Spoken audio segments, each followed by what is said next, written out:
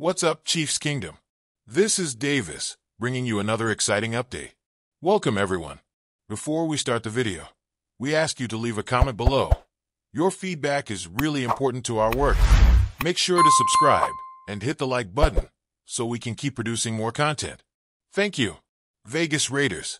While the scoreboard secured yet another triumph this season, the game was filled with tense moments that tested the resilience of Patrick Mahomes and his team.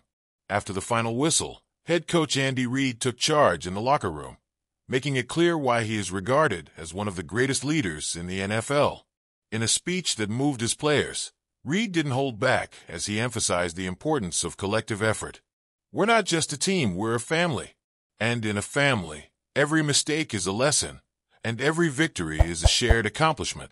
His voice carried emotion and determination, delivering a powerful message. The season is far from over, and every player must give their all to keep the Kansas City Chiefs at the top. The victory over the Raiders highlighted areas that need improvement, particularly on defense, which struggled to contain the opposing offense during critical moments. However, Reid turned this vulnerability into fuel to inspire the squad. Today's adversities are the foundation of tomorrow's triumphs, he exclaimed, drawing applause and cheers from the team. Patrick Mahomes, always celebrated as the heart of the Chiefs, was also moved by Reid's words. The quarterback echoed his coach's sentiments, emphasizing that the toughest victories are the ones that strengthen team spirit. We're on the right path, and Andy Reid is the force that keeps us united. No matter the challenge, we trust him as our leader. Fans, upon hearing about the speech, flooded social media with messages of support and gratitude for Reid. This man is a legend. He knows how to turn a team into champions.